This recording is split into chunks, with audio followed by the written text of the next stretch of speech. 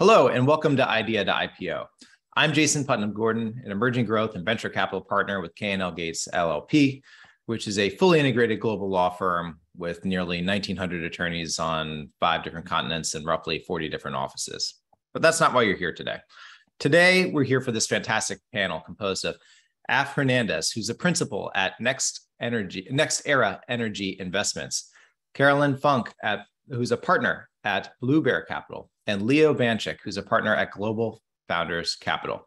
And they're here to discuss today investment and innovations in energy and climate. I'm going to let you, I'm going to let each of them tell you a little bit about themselves in a moment. But before I do, I want to give you a few notes for today's conversation. So we'll have a panel discussion for about an hour. I'll moderate that. The panel discussion and the questions that follow afterwards for about a half hour is going to be recorded. So if you miss some or all of it, so long as you've registered, you'll get a copy of that in about a week. The corollary to that is please don't share any confidential information on today's panel uh, because it's recorded and will be available online afterwards. Please fill out the audience survey. It's always very helpful to know who's in the room. And if I look away or seem a little distracted, it's not because the panel is boring but I'm running all the tech in the background and I've got a ton of windows up. Similarly, if you've got questions, please use the Q&A function. Uh, I will not be monitoring the chat uh, as there's too many windows for me to, to monitor, but do feel free to, to communicate among yourselves in, in using the chat. Now, with that in mind, I'd like each of the panelists to uh, tell us a little bit about themselves, a little bit about their funds, the space they invest in, and uh, to the extent they like to be contacted, the, the best means of contact. And we'll start maybe with Carolin. Yeah, great. Hi, everybody. It's a pleasure to be back. Thanks to Rob for organizing and Jason being the moderator here. Um, I'm talking to you from the Bay Area, beautiful weather in the East Bay here. Um, a little bit about myself, and then I jump into Bluebear, and then I'm sure we're going to get into more details of all of that. Um, so I spent my whole career uh, working on energy transition related topics. I'm originally from Berlin, Germany. That's where I started out working in R&D and policy together with the German government and German utilities. Um, moved to the Bay Area 10 years ago to work for Siemens a group that's now part of Next 47, Siemens's $1 billion startup partnership and investment arm. Um, I then switched side and was head of operations COO of two different energy storage startups, FreeWire Technologies and Caban Systems.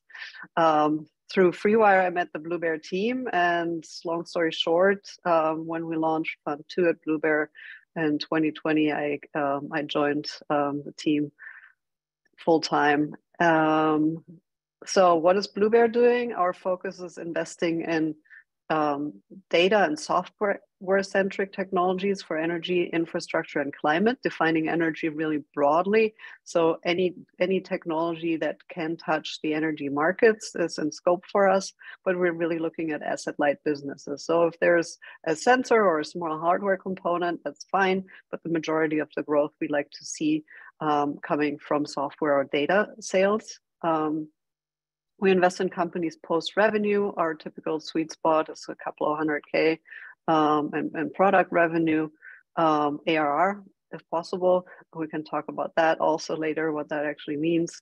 Um, and um, and yeah, typical check size three to six million. Focus as North America and Europe. And Europe, um, we're focusing on the beer drinking countries and not on the wine drinking countries. That's where we have more of connectivity. So I'm from Germany. We, we have venture partners in, in the UK and, and, and the Nordics. Um, so that's that's it about us. Wonderful. Well, we're delighted to have you back, Carolin. Uh, Leo, how about you go next? Tell us a little bit about yourself and uh, your fund.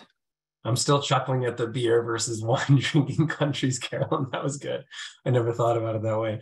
Um, yeah, Jason, just echoing what Carolin said, Jason, Rob, thanks again for, for having me on. Um, a bit about GFC.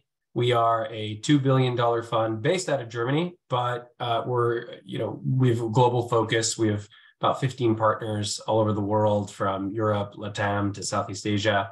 Um, I'm one of those 15 partners. I just focus on climate. Uh, we are a pre-seed, seed, opportunistically Series A investor. We do hardware, we do software. We're looking for big disruptive ideas in the space. Um, and we have a bit of a long-term horizon, uh, which is which is how we can get away with investing in, in some hardware in in in this space, which we can talk about later. Um, that might have kind of a longer term, um, uh, uh you know, a longer horizon for returning uh, capital to the fund. Um, before GFC, I was a management consultant at McKinsey for about four and a half years, doing work in sustainable investing, ESG, advising both startups and incumbents on the energy transition. Um, before that, I uh, got a master's and PhD in mechanical engineering. So I come to VC with a bit of a technical background um, and uh, you know focused on thermodynamics and energy conversion. Uh, fun times. It's really exciting to be able to use those tools uh, when evaluating startups these days. Before that, uh, had spent some time trying to commercialize clean tech in national labs. Spent a bit of time at the DOE doing energy policy research in 2008 uh, back when solar was much more expensive than it is today, and um, and did my undergrad in Las Vegas. Uh, studying solar research there, uh, and so also like Carolin, you know, my whole career has been in in in clean tech, climate tech, and just very excited that you know we get to do what we do today, and and the world, you know, is is, is caring about these technologies and, and needing to implement them. Fantastic. Well, we're delighted to have you back as well, Leo. You always bring a lot to the panel discussion. So looking forward to hearing what you've been seeing. And Af, last but certainly not least, it's wonderful to have you back as well. I guess we've got three returning uh, panelists. It's fantastic. Reiterating, Jason, thank you so much for having me. I'm, I'm also honored to be on a, on a panel with the both of you, so I'm very excited. Uh, my name is Af Hernandez. Um, I started my career at Lockheed Martin. Um, so I, unlike the both of you, I actually didn't start in climate. Um, it was a little bit of a serendipitous path where in 2015 um, at Lockheed Martin, they started an energy division. Uh, and I was fortunate enough to do strategy for them, help them in their R&D portfolio. And that's where I kind of cut my teeth and realized, oh, this is cool. This is where I want to spend the rest of my career. Uh, I was able to go to business school to pivot into that. Uh, while at Lockheed, we tried to commercialize a lot of really cool technologies, including ocean thermal, um, waste energy, a flow battery, some nuclear technologies. It was a really, really cool um, area to really learn this. And and funny thing for a topic later later today is like they they had a fusion reactor that Skunkworks was was working on for a long time. We can talk about that later. Um, but I was able to do that, and then I went to business school to pivot into climate uh, go Bears, and um, started my career in, in climate investing in 2019 at another fund. And luckily, last year joined NextEra Energy. Uh, for those of you who know, the largest power company in North America.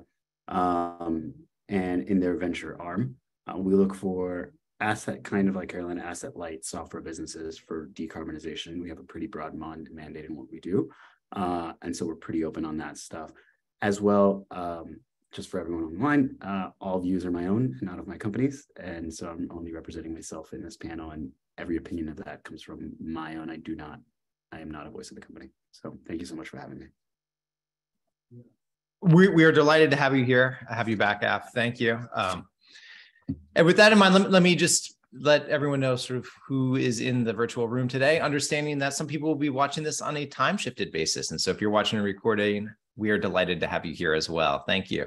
Uh, so we've got a strong contingent from the Bay Area, 25%, and then 36% from the rest of the United States. So that puts us up at about 56%, or uh, excuse me, that puts us up at like 61%, uh, which is great. And then rest of the, the attendees are from either North America, a few from Europe, and then there are some from somewhere else which might be the Middle East. Uh, that's that's been the common refrain for for folks who filled that out. So we're delighted to have you here. Maybe we'll sort of open the stage uh, and and have a an initial discussion just about kind of the trends that are happening in venture in general, and sort of maybe with a lens towards what's going on in the climate space. I don't know if there's anyone who wants to take a first shot at answering that open-ended question. Leo. Sure. I think Carolin and I both unmuted ourselves at the same time. Um, I'll say, you know, following venture broadly, there's fears of a recession coming next year.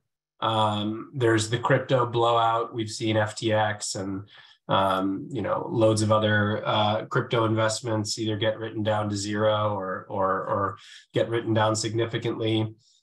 I think we're going to start to see more startups acquiring each other as we move into next year. We've already been seeing Series A, Series B uh, rounds taking a little bit longer, and and in some cases, you know, down rounds. So it's it's I'd say the market is is it's a bit of a bear market right now, um, uh, not just in public and private, but but in VC. We're beginning to see it. I think climate's a bit insulated. I'll I'll uh, especially early stage. I'd say early stage is insulated, climate's insulated. The Venn di- the Venn diagram overlap of those make it a little bit extra insulated. But you know we're still in discussions with founders. Um, the rounds aren't moving as fast as they did before valuations are a little bit more negotiable. The power has shifted a little bit more to VCs than founders, but you know, we all want to get the work done.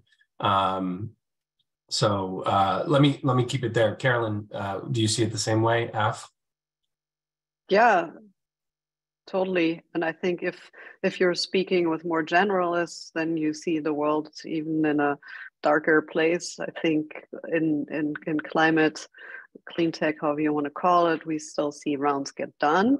Um, and they might be a little more structured in the way that they get done, but um, still pretty pretty nice um, headline valuations or fun, uh, or round sizes that that are in the news every week. Um, I think the, the other thing that we're we're seeing um, and we're also asking portfolio is um, for next year's budget, think think through what a couple of different scenarios could be. So just be prepared.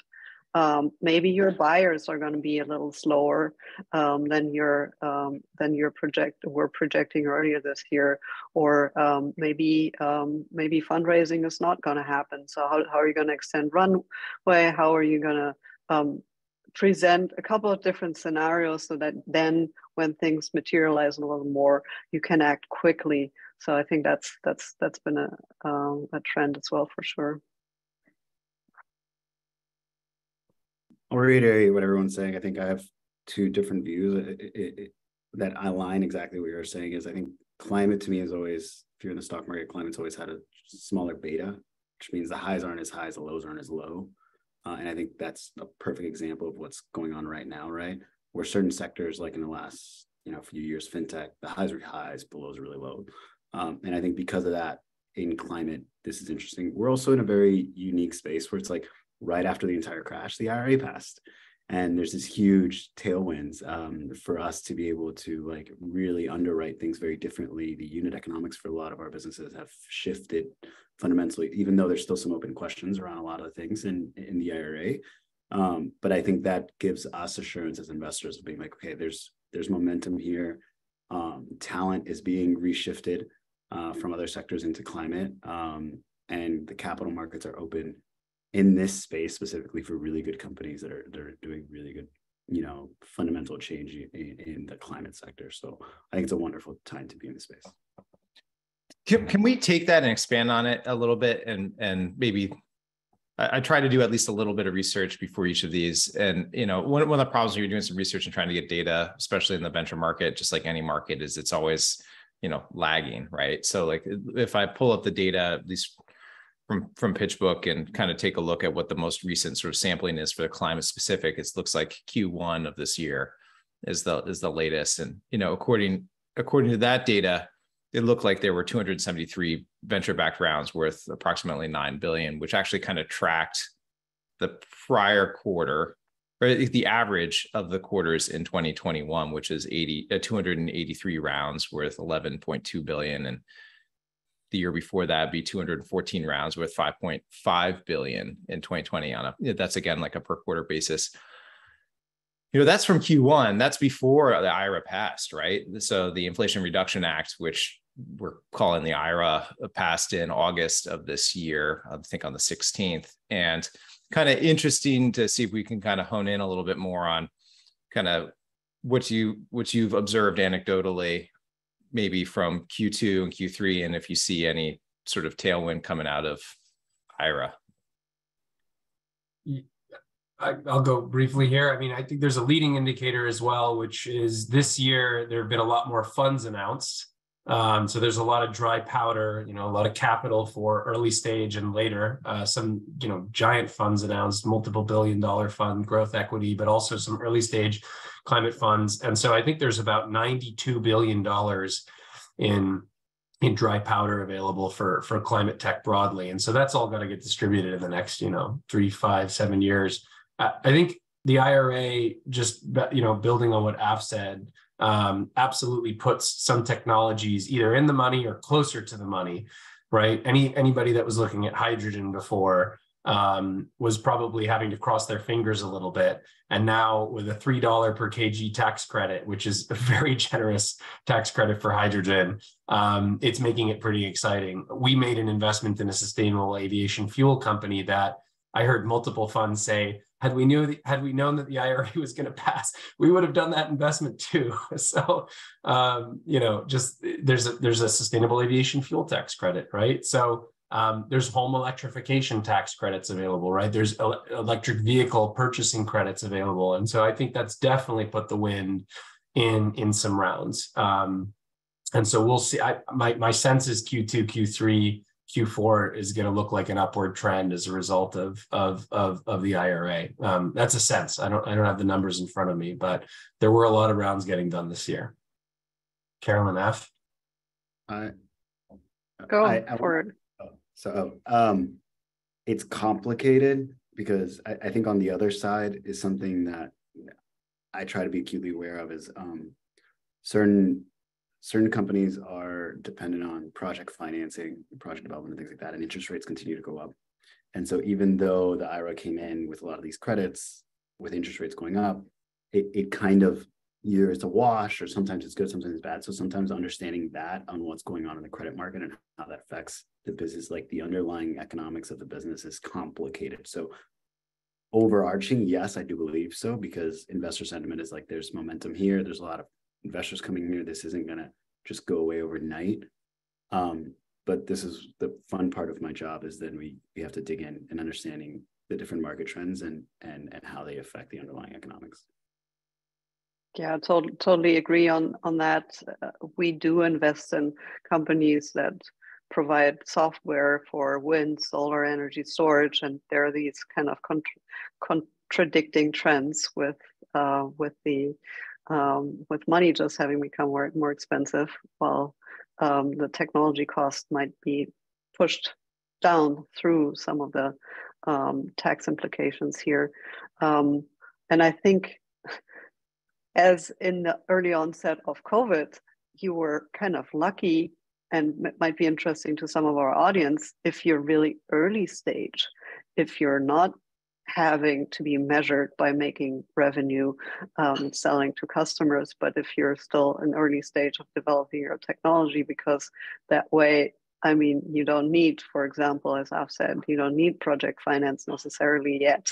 Um, and then when once you get there things things might have um, changed again. So i think um, evaluating companies that are that are at the earlier stage that those those tailwinds from IRA and um, and the general kind of um, energy markets. I think we're we're we're seeing, um, but yeah, if you're if you're at later stage and we do invest in companies at Series B and a little bit beyond, um, then you you're you're measured by by by different KPIs.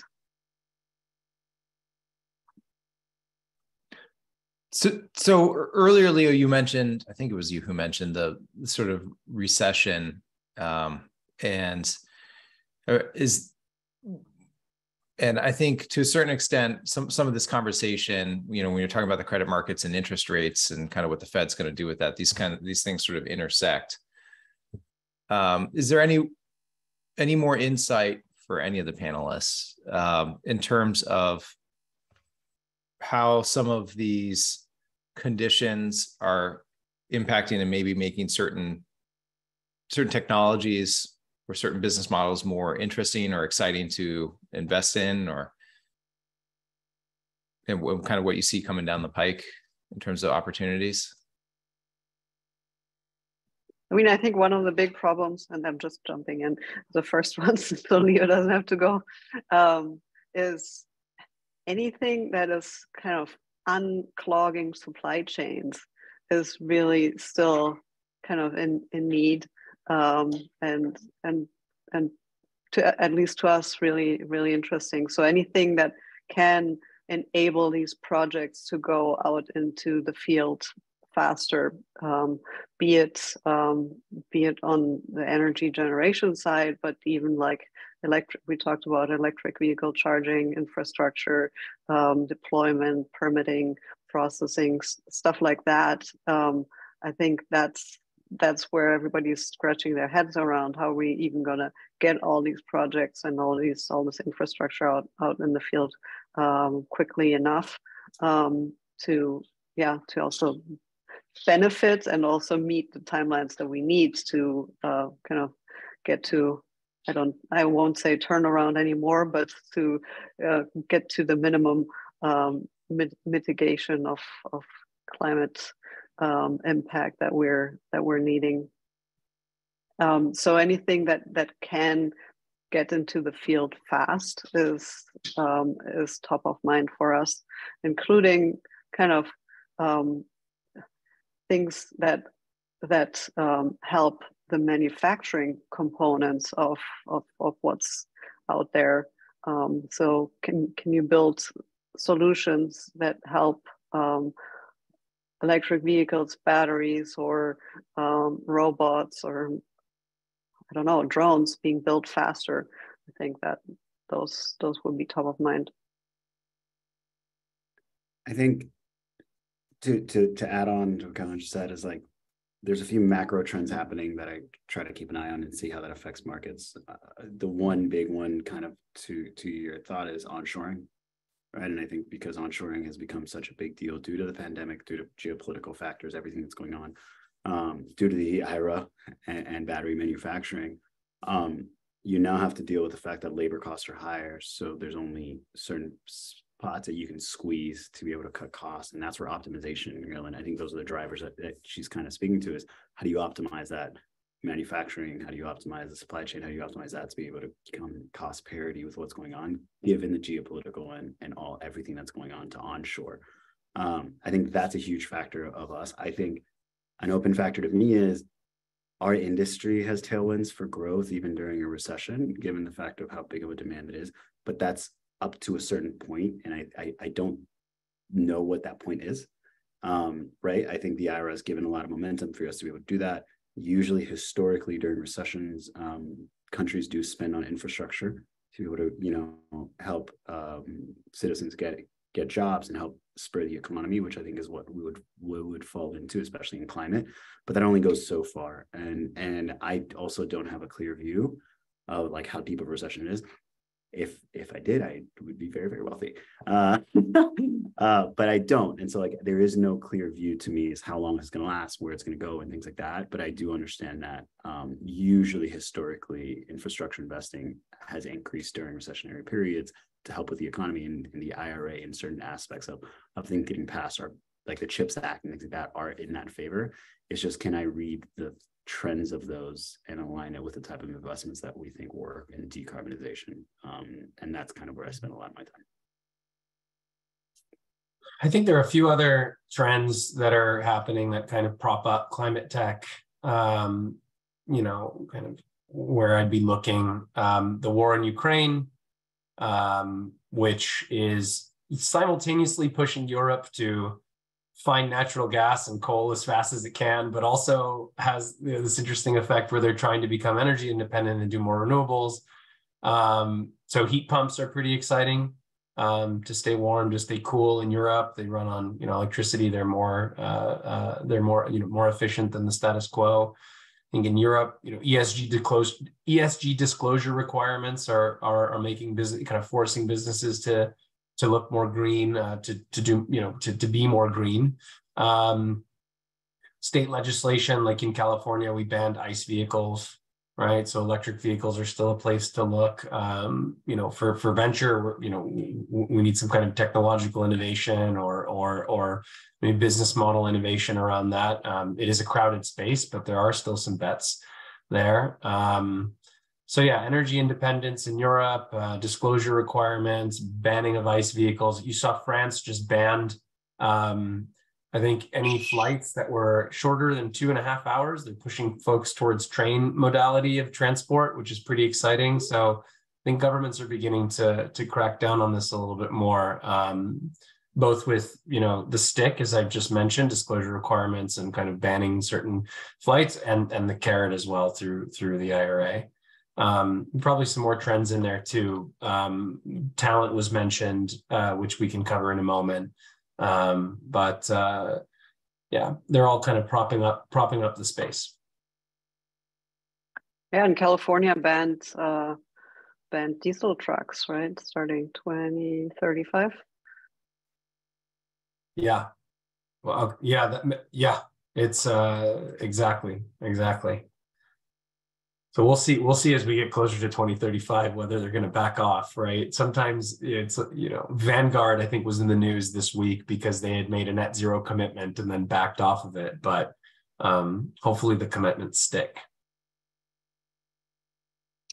Yeah. Uh, no, no. I mean, and I was just trying to recall. For some reason, my recollection was that that ban applied i think to a narrow segment of trucks maybe. Maybe it was like uh, trucks that were i think the concern was trucks that were old trucks that were idling at distribution and intermodal yards but i don't i just don't recall off the top of my head. That was sort of my puzzled look Is i I know, I know there was a diesel ban. I just don't remember if it was sort of like blanket on all trucks or not. Uh, i have to dig in but it looked like in Newsom signed an executive order ending the sale of new diesel or gasoline in the state by 2035. So I thought it was a little more blanket, but I, I need to dig in. That, that was a, for for I think for car. I mean, they did both. There was there was I think a car, a gasoline and car, and then there was a separate diesel one. Uh, uh, but anyway, there's obviously a lot of activity. Uh, you know, sort of on the the legal side of things, the regulatory side of things, which is pretty exciting. Um, how how about in terms of sort of specific technology. I mean, obviously, one really large announcement that came out sort of earlier this week was in Lawrence Livermore Labs, which is, I guess, close to me since I'm in the East Bay. Uh, you know, an, announced a, a, breakthrough on fusion. Uh, Af, did you say you you were you worked on fusion when you were at Lockheed? Maybe, maybe. No, you did not. You did not. You I said. didn't. No. So I, while I was at Lockheed, I, I did not personally work on fusion, but our Skunk oh. Works team was working on a a portable fusion reactor that I think it's been it's it was public while I was there, and uh, it's still pretty public on it, and, and so it's something that I think brings a lot of value to society in general. Yeah. Right. Uh, go go ahead, Leo. To talk, or yeah. whoever wants to talk about sort of like the the technology involved yeah, and sort of what the implications of of that is. Yeah.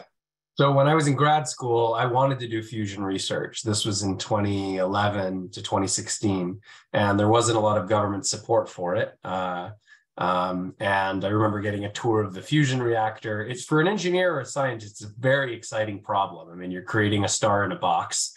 Uh, a lot of different ways to do it, uh, which I'll mention in a minute. But it's very difficult to stabilize the plasma. Um, extremely difficult from an engineering standpoint. There are few companies trying to do it. TAE, um, you know, uh, uh, Commonwealth Fusion System, Zap Energy, Avalanche Energy, which is trying to do kind of a smaller scale portable system.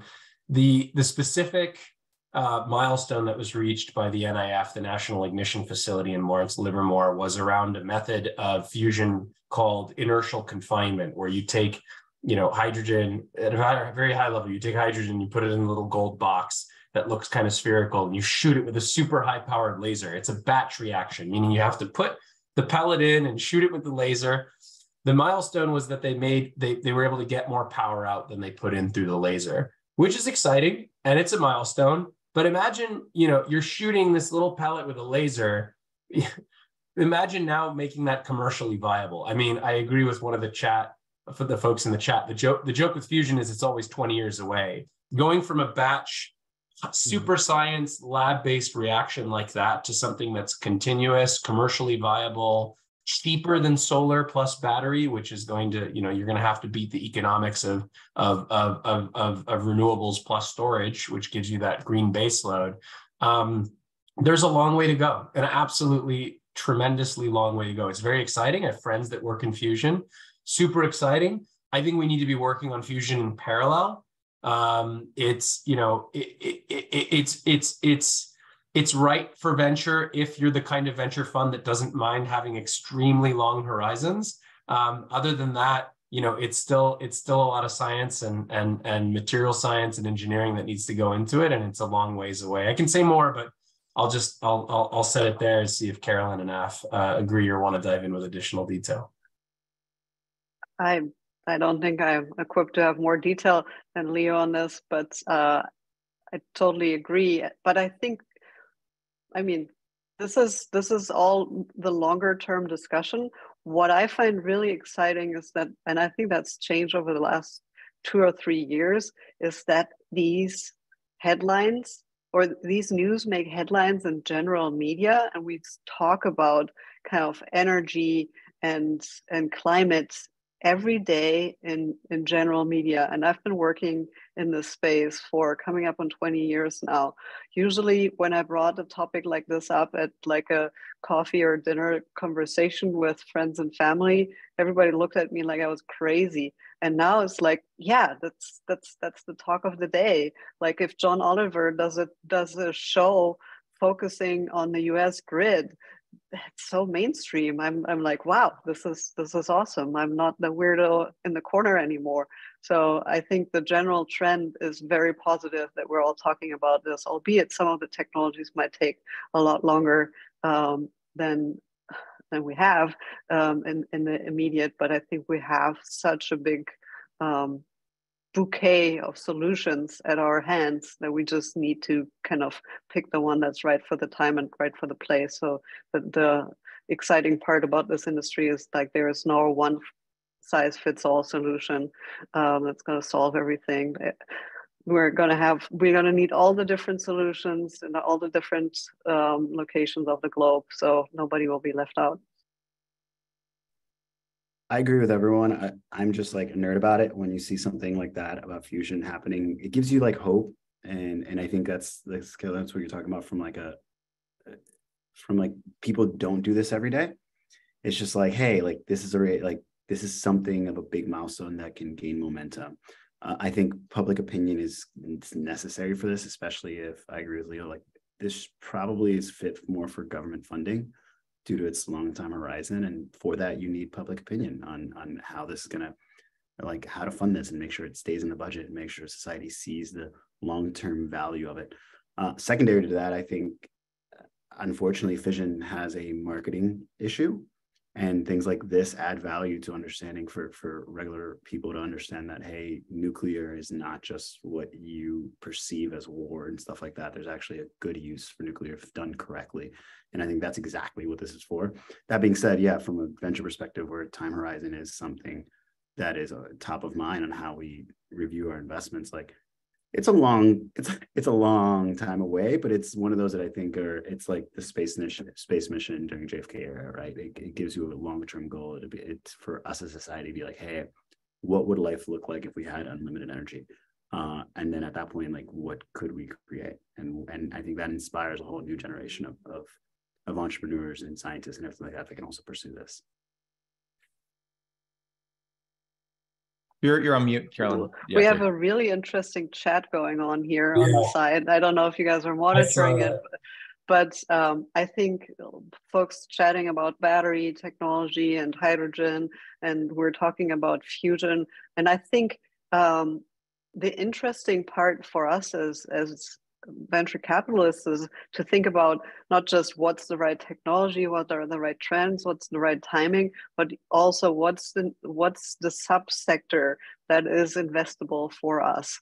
So um, from our lens at Blue Bear, where we're not focusing on um, on on hardware in, investments um, and not all don't also have the kind of very um, patient capital that can wait for 20 30 years um, to return is like how how do we how can we think about areas that that are investable for us in the space? So for example thinking about hydrogen supply chain um, or optimization technologies for um, for the um, plants that will be either uh, stationary mobile hydrogen pumping around or Um, so think thinking through that, and I don't have perfect answers for it, but I think that's what you uh, out there as a founder can help us with is like you if you're targeting one of those big trends, how are you breaking it down so it becomes investable for um, for folks like us? And we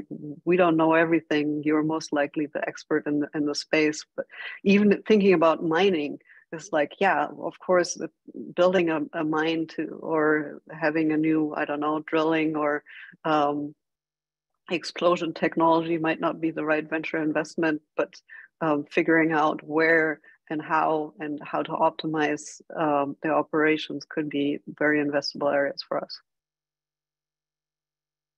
Yeah, just to build to build on what Carolin's saying, you know, since we do a bit more hardware, you know, hydrogen is I'm seeing hydrogen in particular showing up on the chat, so I want to address that one. Um, it is both I, it's both underhyped and overhyped. I think it's it's hydrogen's very nuanced. Um, I agree with a, a person named Michael Liebreich on this largely, uh, who has this thing called the hydrogen ladder, and I largely agree with it. I think I don't think we're going to see hydrogen for use in ground transportation unless it's off-road vehicles, maybe like mining or or um, something a little bit more remote. For delivery trucks, like the kind that drop off everybody's Amazon or Walmart packages, I think those are going to go electric. For long haul trucks, I think some segments are going to be maybe hydrogen, but most of it's going to be electric. For for electric for for passenger vehicles, electric has won already. I'm pretty sure. I mean, Toyota has the Mirai but I think you know they're going to quickly abandon it for BEV for a number of reasons. BEV uh, battery electric vehicles for a number of reasons. I think the well to wheel efficiency isn't great for hydrogen. The infrastructure already exists for electricity. Um, so I think you know electricity in ground transportation I think makes more sense than hydrogen from everything I've read. Where hydrogen does have a use could be in decarbonizing aviation. So we, as you know, GFC was before I joined, but we invested in Universal Hydrogen. It's kind of one of the two or one of the several um, hydrogen uh, startups that are trying that's trying to decarbonize aviation. It's, it's a little bit of a longer term bet before the FAA approves all of those, um, you know, new forms, new powertrains, but could be there uh, useful. Could be useful in steel where you need high temperatures could be useful in green chemicals, I would say in ammonia production and methanol production and sustainable aviation fuel production, could be useful in decarbonizing maritime, perhaps as an input for methanol production. So just all I'll say is if hydrogen is interesting to you, there's a lot of conversations happening around where it makes sense, where it doesn't make as much sense. And as a founder, just try to try to stay current on kind of where the trends are because the VCs are going to be um, you know following these discussions and having having a sense of of of where these technologies can make sense or not make sense.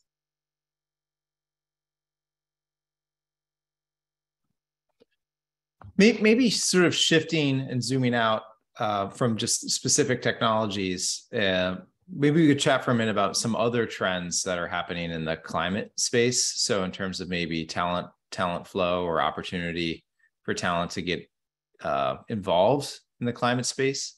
I think that'd be helpful. And I think Leo, in and this, you know, it's not necessarily a question for you, but I do recall in August when we had you on the panel, you, you provided a number of resources for folks who are interested in getting involved. Um, so open for you to either sort of recite those to provide any additional ones and obviously for carolin and af if they if they have any um, you know resources that people should take a look at or check out if they're interested in getting involved it'd be fantastic to have that conversation and let you know let let the audience know. Uh, maybe carolin since since since jason called you know just briefly these af carolin you probably know exactly which resources i'm going to mention. Climate tech vc it's a newsletter. My climate journey um, climate draft uh, .org climate base uh, terra.do uh, these are all kind of communities slash areas where you can congregate read what's new find job boards. Um, that's a starter list. Please, you know, Carolin feel free to add. Uh, a, a few things. One, please don't be intimidated by the space. Uh, I, I, think sometimes we all uh, we've been in the space for so long, and we all talk about things so easily be, and acronyms and all that stuff pretty quickly because we've been in the space for so long. Um, it's dual sided. One, please don't be too intimidated by that. We all started somewhere as well, and we were always lost on those things. And number two is everyone in the space wants more people to get involved. So if you let us know where it's like, hey, I don't understand this, or it's it's hey, it's like we're going through, let us know, and we're happy to like. I think all of us in space are happy to sit down with friends and just break it down and, and teach everyone. So I think one, it's just about the humility of the talent. Number two is um, I'm also the the um, I'm also the co-founder of uh, VC Familia, which is the largest Latinx VC organization in, in, um, in North America. This has been a topic that we've talked about a lot is increasing diversity not only in climate but just uh, in overall but like specifically in climate um, and energy where sometimes communities that are affected by by carbon are the communities in lower income and highly diverse communities. Uh, so it's it's a big deal there uh, and I want to encourage as many people of color to please get involved and please, you know, get involved in the space in any way, shape, or form you can. Um, and then number three is you do not need a technical background or any kind of engineering background at all to get involved. Um, I don't have one. Um, there are a bunch of roles in climate that do not require it. Uh, and if you're really interested in it, like you can just get involved. And then there's a few free university courses just to sometimes if you're doing deep tech, understanding thermodynamics and, and a few of the electrical engineering is is worth it. And that, that doesn't need a degree you can easily just go in and, and understand the basics really quickly on a few YouTube videos.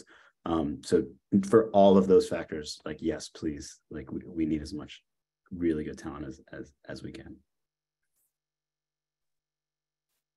And maybe to uh, talk a little bit about the other side, we've been reading a lot about the um, folks from General Tech um, leaving, um, getting laid off, or just looking for for new, more um, mission driven journeys uh, for their personal careers.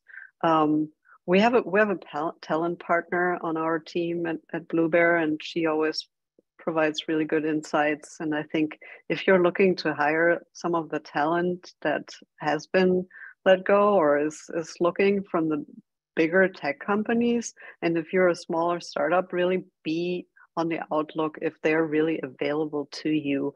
A lot of these folks um, have um, some kind of um, a severance package, so they might not really be looking right now. They might really start looking kind of in Q2 next year or so. So for a startup founder, like another quarter is like another lifetime. So um, be be on the lookout, and and then also for some some of these folks really early stage startups might not be the perfect fit um, in terms of both um, compensation that they're looking for and also in terms of um, i mean that how they're used to work like a lot of the remote you might be more of an in-person company. Um, some of the the work-life balance the perks that you can provide. So i'm just like together with our in our portfolio we're also really hesitant. Some of these folks might be a really good fit but make sure you have a good filter initially so that you're not jumping through the rounds which for smaller companies take a lot of um, take, take a lot of resources speaking with these candidates that are in the end not not really interested in working with you so i'm a little more cautious maybe than some of uh, some some of the peers like LinkedIn or uh, Twitter VC. Um, it's like, yeah, all, all come work in early stage uh, climate. Not so sure about that.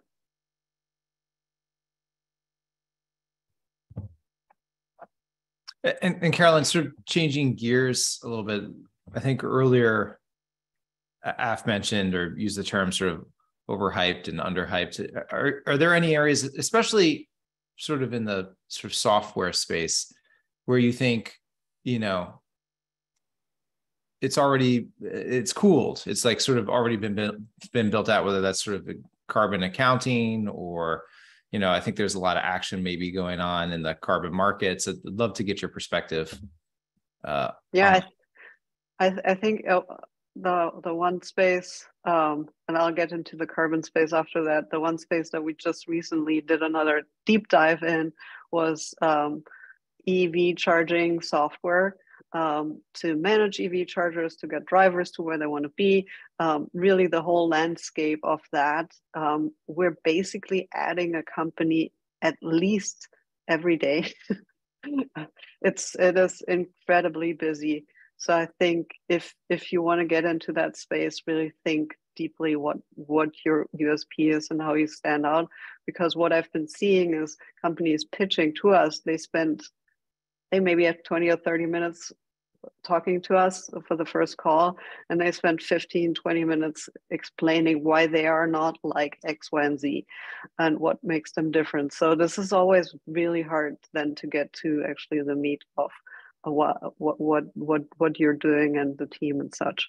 So um, yeah on the on the carbon side carbon um, carbon accounting carbon um, verification um, everything that's combining the web3 and carbon space i think that's part of two different ice ages or winters um, the a little bit of the more crypto-y winter and then um, the carbon kind of market reshuffling.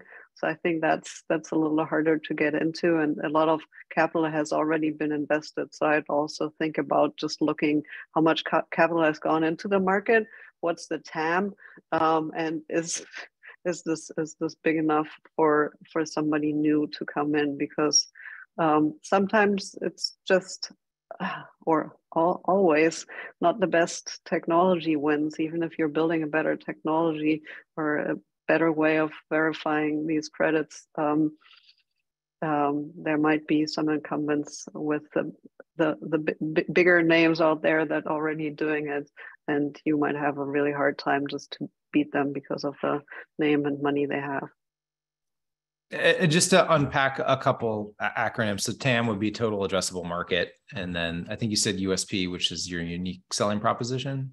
Is that, yes. Yeah. Sorry. Yeah. No. No problem. No. We have we have a whole range of audience members, both live and yeah, you know, time shifted. Thanks, Jason. I, you first, Af. Go for it. Uh, I go back and forth about this because I think um, hype is sometimes good and bad it just depends, right? Um, sometimes hype is because the market's just too early for where it is, right? And sometimes it just takes a little bit longer. Um, I think I'm conflicted on carbon accounting because the market signals are there that this is necessary, but I think the market just might have gotten ahead of itself at a certain point. That's kind of my my view. Um, whether and from an investor standpoint, my biggest thing is like at what price did you come in, right? Like I'm I'm I'm worried about IRR and MOIC and things like that, which is internal rate of return and multiple invested capital. Jason, I saw your face and I was like, I got this. um, and so I think it's it's an interesting perspective where, as an investor, you have to be disciplined enough to understand what's going on in the ex- in external market and whether you play with it or not. Right? There's investors have different styles, different way of investing, and things like that, and and you can make money on either market. Right? Um, you have to realize like people have made a lot of money on the crypto space, regardless of it like crash. Like investors did make a lot of money, and there are a lot of funds that that did cash out and made their made their money and things like that. So um, we always just see the media without understanding like what the fundamental economics of things are. Um, but I do think there's also other markets that have been kind of in the in the forgettable markets like IoT or things like that that are making a resurgence based on different types of market dynamics, right? And so it just depends on the wave of things. Um, obviously, batteries were like hyped a few years ago. Then it's kind of like puttered along, and now with the IRA and everything that's going on, batteries are now like coming back up again. So it just depends on different market dynamics that are happening, um, and it's hard to predict. I think that's like Otherwise, every VC would have a top quartile fund. So. And to your point, um, we have uh, we have invested in the space, and we think that, um, for example, actually Leo and, and us are co-investors in a company called Abatable um, that is um, that that is very active and actually going to do some uh, kind of nonlinear growth um, in the space, and I think that this is um, talking about the carbon uh, carbon marketplace. Um, if you have the right team um, and you you get in early enough, then um, they will figure out where the market is going to go. And this is, I believe, this um, the the case with Abatable, for example. Yeah, just building on what Af and Carolin have said, you know, there there are climate is a very wide climate tech is a very wide uh, sustainable landscape a lot of different places where you can invest some sectors have passed the venture capital stage you know dramatically right so like renewables are no longer in the world of vc there might be a few opportunities here or there but it's mostly infrastructure project development right on the early stage there were things that were early stage two, three years ago. I would agree with Carolin carbon accounting. So it depends when you got in, right? At what price? Carbon accounting, carbon offset platforms, um, to some degree, MRV measurement reporting verification around carbon credits was you know it's a little bit kind of later stage now. If you're an early stage investor or if you're a founder looking to build things you know it's important to do your research on crunchbase or just online seeing you know what who are the other companies out there? Have they raised a lot of money? I'm just echoing what what's already been said on the panel. Um, i'd say carbon accounting carbon offset platforms home electrification is a space that's becoming a bit crowded i've seen now it's just hard. I take a pitch with a company and I like what they're doing, but it's, you know, I can't differentiate between what they do versus many others. Um, you know, whether it's uh, uh, putting heat pumps in the home or electric vehicles in the home. Um, you know, and there's some companies out there like um, Lunar, which raised $300 million, not from VCs, but I believe from Sunrun and SK Group. And you got these well funded behemoths out there with great teams. And makes it a little harder to gain conviction on it um, to, to, to place a bet, right? Doesn't mean we won't place a bet, just means that you have to do extra diligence to understand what the differentiation is uh, for that particular company. So I'd say, you know, there are there are some spaces that are that are getting a bit crowded, but um, you know, we need all the talent we can get in climate, and it's it's a very exciting time. So I want to end on a high note there. Um, but you know, just just come in and do a bit of the homework, and and and you know, if you want to build a startup in carbon accounting, for instance, just you know, look around and see who's done it first, and it might give you an idea of like how you could do it differently, or if you can pivot into a different business model.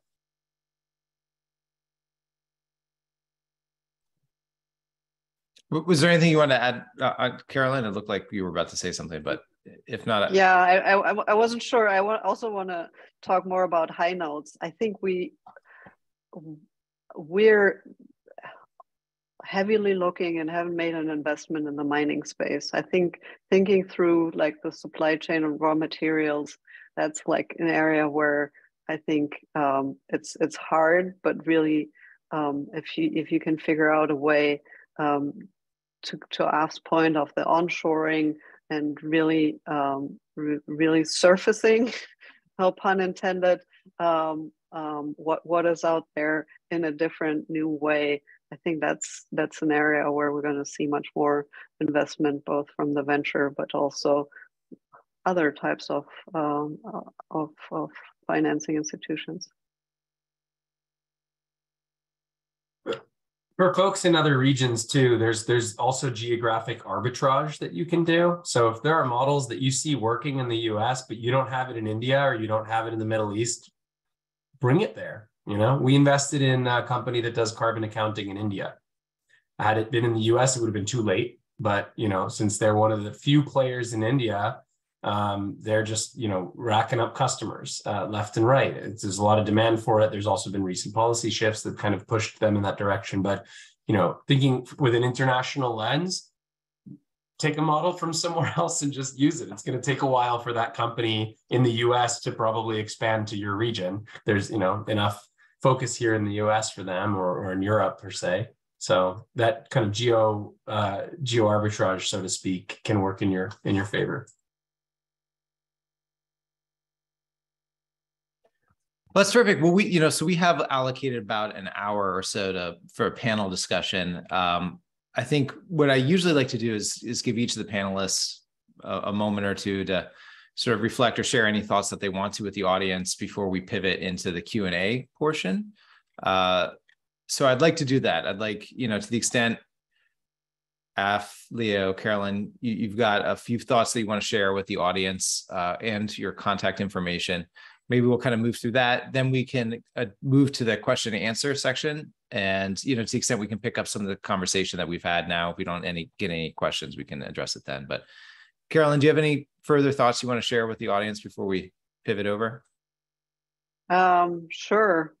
I'll take out my 2023 glass bowl and tell you how it's going to unfold in a second. No, uh, just kidding. Uh, we don't have that glass bowl, sadly. Um, I, I mean, you, you heard it uh, in my intro. If you are looking to build a company um, in the um, more software and data centric space for energy infrastructure, climate in the broadest sense, um, feel free to reach out to me. I think LinkedIn is the easiest and fastest way. Uh, you'll just find my name on LinkedIn. I don't think there's anybody else there. Um, I'm unique. Uh, I don't know, um, but you'll find easily find me. Um, I think um, what we haven't discussed about today, and we have still we're still wrapping our heads around, um, is the whole topic of um, how how are the advancements in AI going to impact our sector? Uh, we we chatted about this a little earlier today in the panel uh, when we were just warming up, um, and we don't have a clear opinion on that. I think that is always a really good sign on there might be something there that you can uncover um, because we're not yeah we're unsure ourselves so would be great to be educated on that and we're thinking um, of course, everybody is talking about Chat GPT and GPT two, three, four, DALL-E, and other fun things out there. But how do, how is it actually applicable um, to the climate space? We don't know yet. Would be really curious to hear your thoughts. Thank you, Carolin. It's great to have you back. Af, any any final thoughts for the for the audience? No, thank you so much for joining us and and uh, I guess putting up with our points of view. Um, in reality, I think I'm just waiting for the moment when it stops being climate, and this is just the way most companies operate, and we realize that our emissions and and how we build things affect our environment. Um, I think eventually, within my career, hopefully that that becomes the norm, or we don't have this climate tag, and it's just operations. Uh, but overall, I think it's necessary. I think uh, we need really good talent to enter the space to really help us solve the problem. Um, as an investor, and I think Killen's uh, echoed this, it's the founders that come up with the really good ideas and, and, really try to change our view and the trajectory of the world. And that's kind of what we need um, in this challenge for us to get to where we need to by 2030. Um, and overall, yeah, I, I also reiterate this. I think there's we can talk about the crypto blow up and the fintech blow up and things like that, but I do think there's a lot of innovation that's happened in that space that that actually helps us in climate. Uh, I do think the banking industry has kind of been upended and things have been shaken up a little bit. And how does that affect like climate and how does that affect us like with financial reporting and things like that? I think that's necessary. And same thing with chat or chat GP3, uh, GPT 3.5, 4, uh, AI modeling, all those things. Um, I think there are other market trends that us as climate investors need to be aware of to see how that affects either the technology um, development or technology adoption within within our sector is absolutely necessary. But thank you for having me. I appreciate it. We're delighted to have you back, Af. And Leo, any, any final thoughts and best way to contact you? Yeah, uh, I'll start with best way to contact me. You can find me on LinkedIn, uh, Leonardo Banchik. Um, and then um, I'll end on yeah. I mean, we need all the talent we can get. I'll, I'll end on the the a bit of the numbers and kind of the sense, right? So we're hopefully I don't come across as too nerdy here, but we've got about you know 40 gigatons of of CO2 in the atmosphere uh, uh, that we're putting out year annually. Forgive me. Um, uh, and you know, by it's not a 2050 problem. Carolin and Af and I were talking about this before the panel started. 2050 is kind of a ways away. Uh, my daughter will be my age by then, I think. But uh, uh but 2030 is really where we, you know, this is in the next seven years is where we need to decarbonize by 50 to 55 percent. So we need to stop the tap, stop putting out emissions um, for CO2. We need to steeply mitigate methane and nit- nitrous oxide emissions as well. But then we also need to do carbon removal, which we didn't talk about during this uh, talk, but it, there's a load of ideas and you know kind of fresh excitement around carbon removal. We also need to drain the tub. So we need to stop the tap and we also need to drain the tub because there's too much CO2 and GHG in the atmosphere because we didn't, you know, as a species, we didn't act fast enough 10 years ago. Um, and so, you know, we need to pull out, start, you know, getting to two gigatons by 2030 and then five to 10 gigatons by 2050 annually of carbon removal. So kind of wrapping this up, putting a bowstring around it, there's kind of CO2 mitigation and decarbonization, methane reduction, and carbon removal. And those are all rich areas to tackle uh, as an entrepreneur. So um, it's yeah, it's an exciting time. Let's let's let's hope that by 2030 we can make a lot of progress together. I also forgot to mention, yeah, LinkedIn is the best way to reach me. Also, I have a very unique name, so I'm pretty sure I'm the only A Fernandez on there. That's why I put my middle name in because there are a whole bunch of Jason Gordons, including I think some people who may be in prison, which is not me. Um, so uh, th- that's a great way to contact me as well. I, I also, and just to sort of do a, a quick plug for myself, in the last couple months, I've developed a resource for entrepreneurs who are interested in in learning about kind of how you create and then capitalize a company from creation through your initial preferred stock financing. I call it Venture Capital Camp. It's in sort of a beta test mode. I'll put a link to it if you want to check it out. Uh, any feedback that you have is is is welcome. So put that in here. Moving on to the questions. So one of the questions is uh, related to basically how you can get involved. And I think the panel did a great job earlier providing a number of resources. That was about 40 minutes into the conversation for those of you, you know, who want to go back after you get the recording, you can check it out. But in terms of doing research and learning about other companies that are available in this space. I think Crunchbase got mentioned at least once, but like, are there other other resources that the panel thinks is a good place for folks if they kind of want to be able to drill down on a particular subvertical within in the space and they're trying to learn more about what's out there and they're doing their diligence to see whether or not you know there's enough uh you know they're at the right time basically to get involved.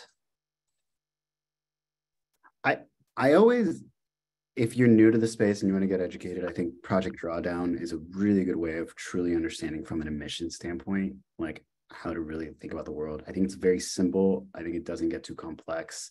Uh, I think that's an easy way to see like where the emissions are coming from from a global perspective and break that down. That's always my favorite if you're not in the space.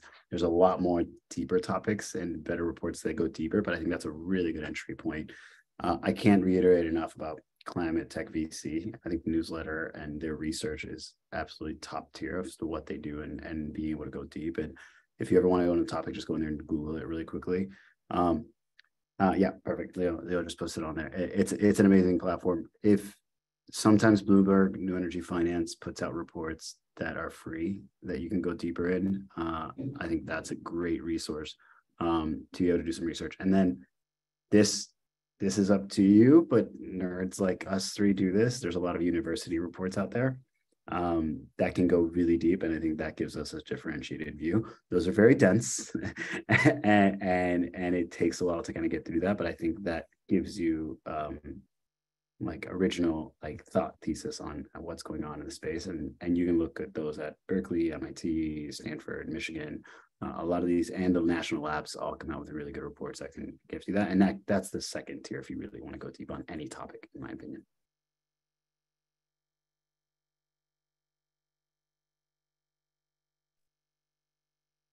So, so if you're if you're in the audience and you've got questions, now's a great time to enter them in the question and answer section or question and answer section, and we'll try and get them answered, especially ones for the general applicability. Uh, but until we get one or you know a couple of those in there, I, I do want to at least touch on something we talked about earlier. Carolin, what's your perspective on how AI is going to impact the climate sector?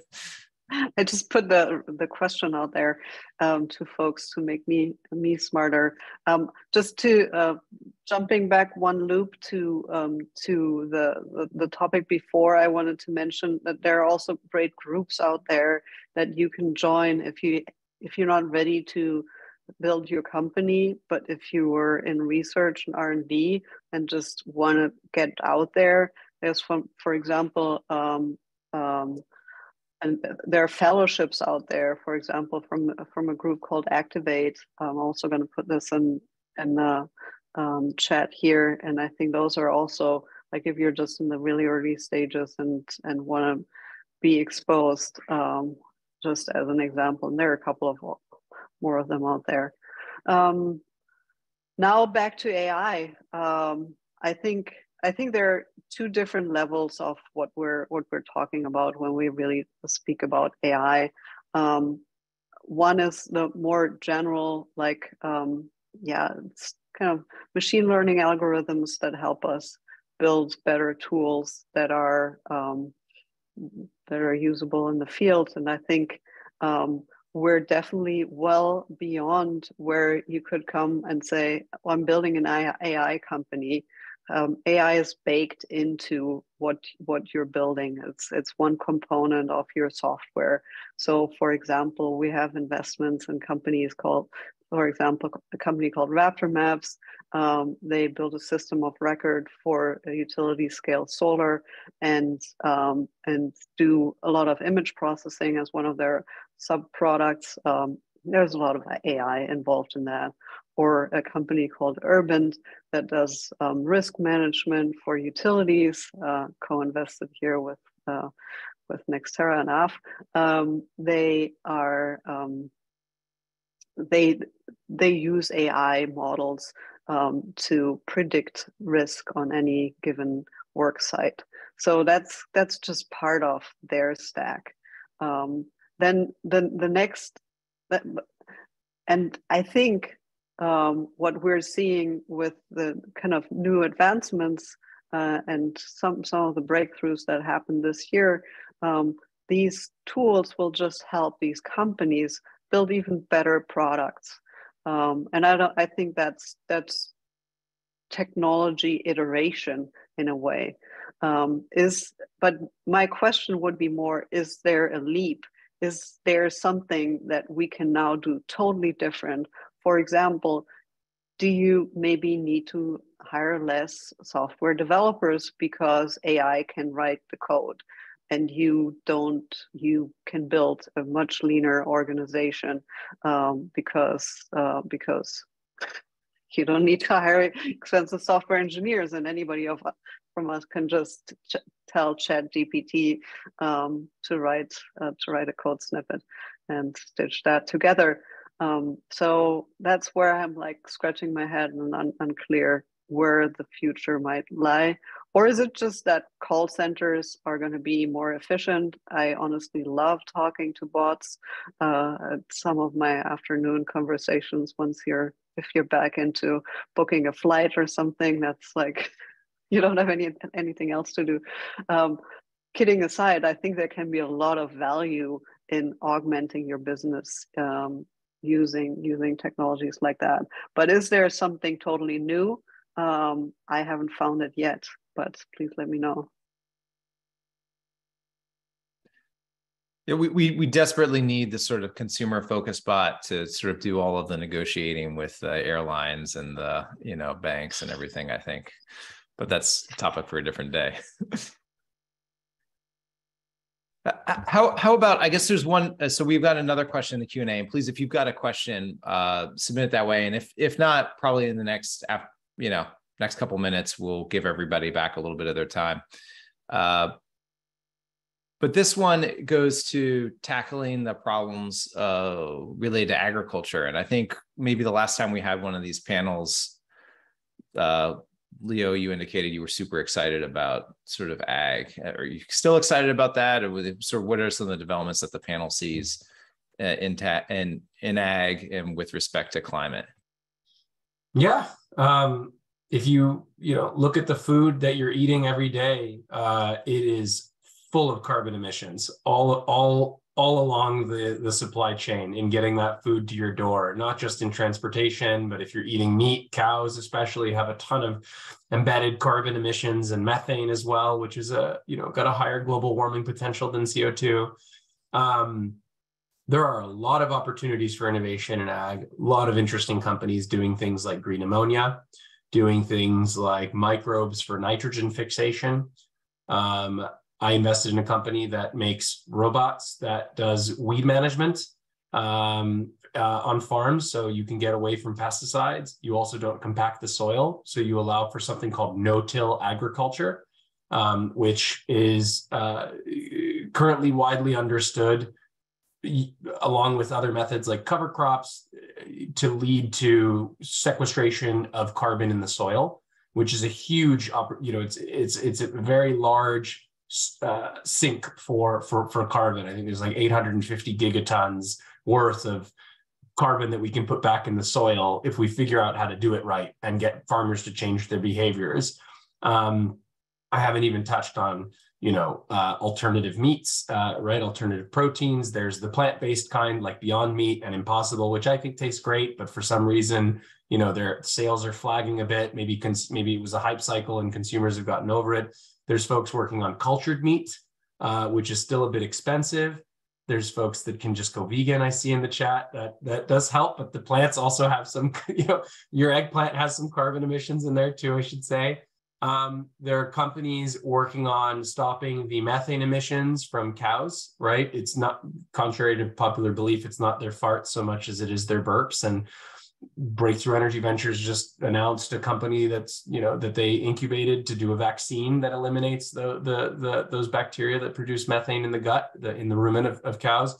There's other folks that are working on stabilizing chemicals that they can add to feed or add to water. I'm given a bit of a laundry list here, but you can see, I mean, it's a it's a big space from robots on farms to how we tackle cows, how we handle methane emissions at dairies.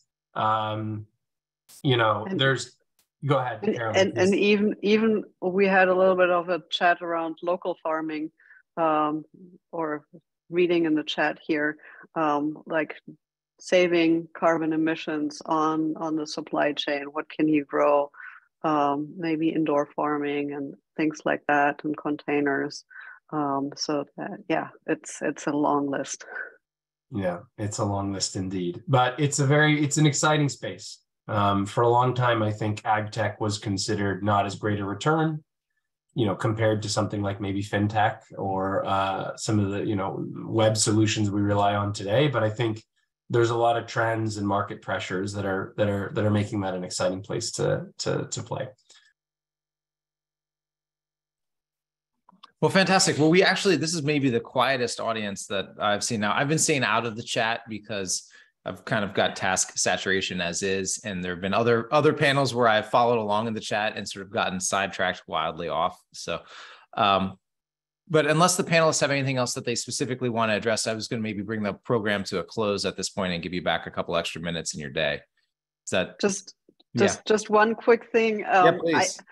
I, um, to be honest, I think this this has been the most interesting, and I'm sorry, maybe you want to download it, the most interesting chat going on while I, I was on a panel here uh, with. That's fantastic. Uh, idea to IPO. We've, I've gotten uh, trolled before in the chat, and so uh, I know, that's I not know, happening. Not, not I've had panelists you. get trolled too, so you just never, you know, these things you never know what's going to happen. That's wonderful, though. Yeah. Um, and there was there was a little bit of a discussion around um, about around batteries and um, where else to look, um, and I think um, I not not just to market um, one one of our deals, but I think there's so much going on in battery intelligence and AI. We've invested in a company out of Germany called Accure, but there are others um, that actually predict battery failures. That's a, a great application for for AI. There's a lot of data out there about batteries. Um, also, um, new battery chemistries. I think that's a really exciting space for uh, for AI applications in general um, kind of material exp- um, exploration. Um, so I think there's there's a lot that you can can read about um, the the battery um, space, and there's um, oh no, I'm blanking on the name. There's a battery conference every year in January here in in uh, in the East Bay. Um, I have to look it up, but um, yeah, ping me on BNEF, LinkedIn. It's not BNEF mobility, no, no. specifically but, on batteries. But uh, yeah, there's so I think batteries will remain an exciting space, and new batteries, um, battery recycling, um, battery material exploration. So yeah, if you're in that space, feel free to reach reach out. I spent a couple of years during my career building battery packs, so that's dear to my heart. Sorry, Jason, and I'll let you finish it. Oh, oh no, no. I, you know, I'm not trying to cut anybody off prematurely at all. So thank you. Leo, did, did you look like you had to add, you wanted to add something? Yeah, just to agree with Carolin, the chat is pretty active, but but no worries. I mean, there's some interesting things um, popping up as well. Uh, you know, repurposing, even just the very last chat, repurposing coal uh, for either you know coal-fired power plants for geothermal or for nuclear. You, know, you get to use some of the capex that's already available. Uh, on site, you know, uh, the condenser, the um, the heat exchangers, uh, et cetera, the the pumps. So some interesting, you know, there's there's a lot of interesting technology. Maybe as a technologist at heart, I get excited about that stuff, but uh, um, a lot of work to do across across the landscape. And then a lot of what we've been talking about is really just in the US and Europe, right? And there's so much more. I just got back from Argentina, by the way. If everybody sees me drinking mate, that's what this is. Um, so I ask you about that. We should like, talk oh, about. Hey. Yeah, we should talk about VCs, uh, Latino VCs, eh, haciendo cosas, cosas juntos. But um, go Argentina in the World Cup, by the way, which is on Sunday. Everybody should watch it. Congrats to France that won while we were doing the panel. Um, but uh, just to say that you know, there's a whole world out there. I just got back from Argentina, and that nobody was thinking about electrification. Nobody was thinking about you know the work that needs to be done. Granted, Argentina doesn't have the carbon emissions that the U.S. has or that Europe has, right? But you know, this is a global problem. So dig in your local community, see what you can do. If you can start a recycling you know, uh, a program locally, or if you can do something again, that geographical arbitrage, take a model that works elsewhere, bring it to where you are. This is a global problem. So that's what I'll that's what I'll end on. Uh, if if you want that, so there, I do see in the chat. Uh, somebody's asking about the chat. I think um, if you want the chat, send me an email, and I might be able to send it to you afterwards. Uh, so I'll put my email here. Absolutely. Uh, I'm just I'm I'm very excited to be on the panel with this group and see like and the talent that's going into the space and the fact that we all kind of realize that this is like a pertinent need in our society. I think is amazing. Um, lo and behold, I wouldn't expect the market to be where it's at back in 2016. So at a certain point, um, I know we all feel this urgency to do that, but also let's also realize what's happened over the past six years um, and the momentum and the progress we all have made. Obviously, it's not enough, but um, it's way better than it was six years ago. Uh, and there's a lot of momentum in the space, and a lot of things have happened that we wouldn't have expected six years ago. Um, so, with that though, uh, I, I'll reiterate it. I think we need really good talent to pursue not only technological advances but also business model advances um, for numerous reasons that I can go into in long rabbit holes and diatribes on this. Uh, but there's it's not just technology, but it's also how does the unit economics work on that? Can business models change to be able to allow that? Uh, and that that's where I was saying like the fintech revolution, crypto revolution from a record keeping standpoint, and things like that can actually add to that. But I, I'm very excited what's going to happen over the next 20 years. I'm sorry, Leo, you're going to say something. No, I just thought maybe your audio went away, but it might have been my internet. Forgive me. Um, no, no, that was I totally agree. The unit economics, the business models, absolutely.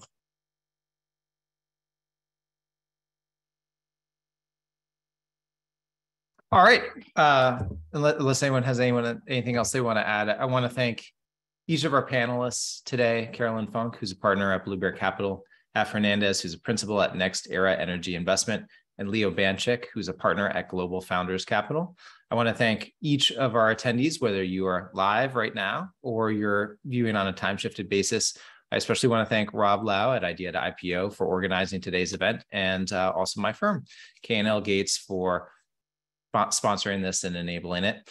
And uh, with that in mind, I'll let everybody get back to building their great companies and uh, everyone else out there looking for them. So take care. Have a great day. Bye bye. Happy holidays, everyone. Yeah, happy Thank holidays. you. Holidays. Thank be you. safe. Bye bye. Bye.